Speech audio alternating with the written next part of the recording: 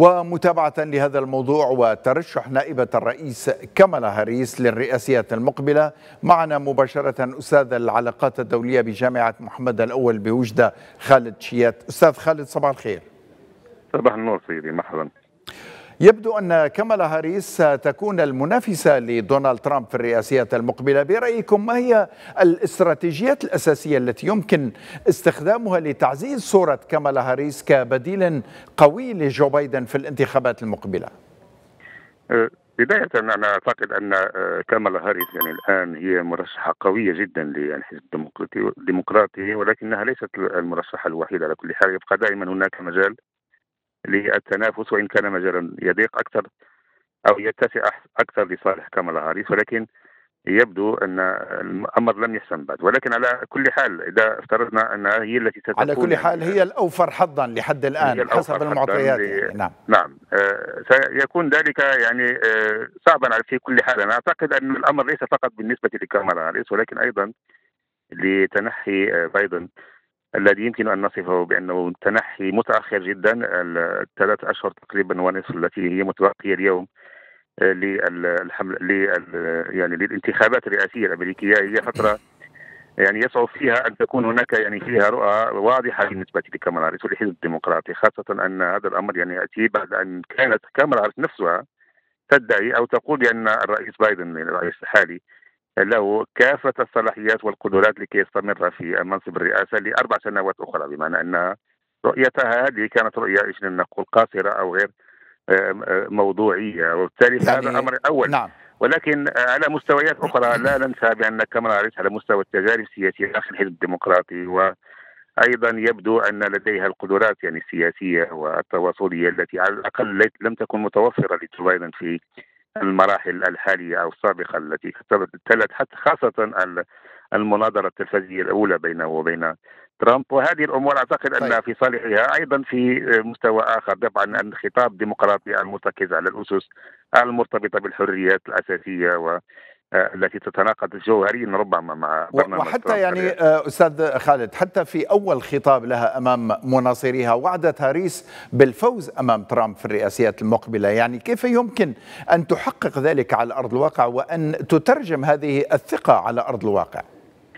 آه، أنا أعتقد أن كمالا هاريس اذا ترشحت للرئاسيات وكانت طبعا هي هي المرشح الاوفر أعتقد أن ذلك يعني أن هناك ربما تصاعد أكبر لل أو آه، تفادي الهزيمة النكراء للحزب الديمقراطي التي كانت ستكون مدوية أعتقد في نعم. حالة بقاء بايدن. هذه الحالة آه، ربما تجاوز الآن الحزب الديمقراطي ولكن إلى أي مدى سيكون ذلك كافيا لكي تفوز بالانتخابات؟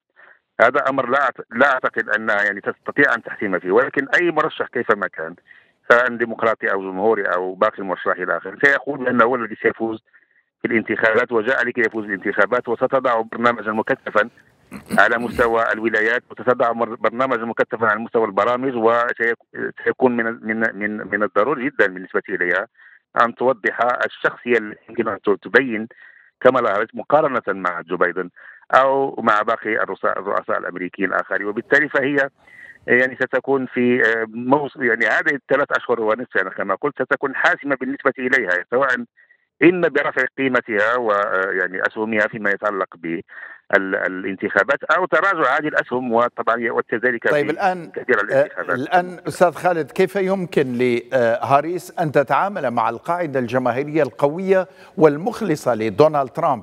وكيف يمكن أن تقوم بإقناع البعض منهم في تغيير ولائهم والتصويت لها؟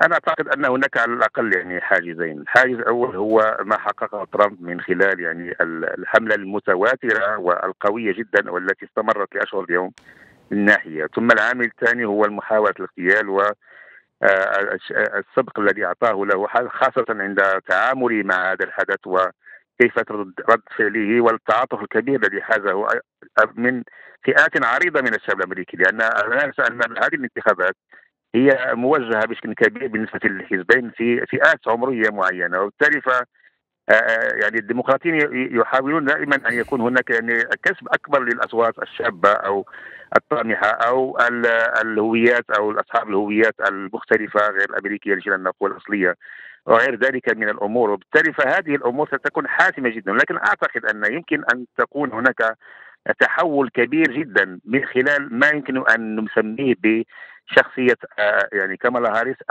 السياسية أو الهوية السياسية التي يمكن تعطيها مقابلة مقابله ما يقدمه دونالد ترامب الذي يميل أكثر نحو شعبوية كبيرة نحو نعم.